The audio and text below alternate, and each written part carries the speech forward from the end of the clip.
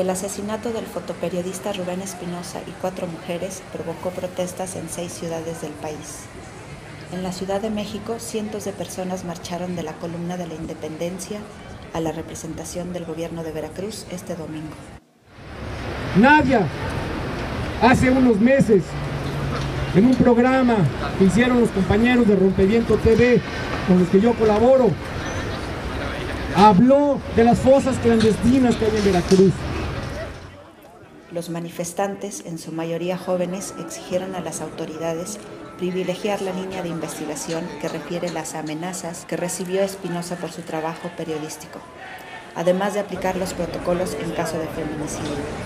Las manifestaciones en Jalapa comenzaron desde la medianoche del sábado, cuando un centenar de personas se reunieron para condenar el múltiple homicidio ocurrido en la colonia Narvarte del Distrito Federal.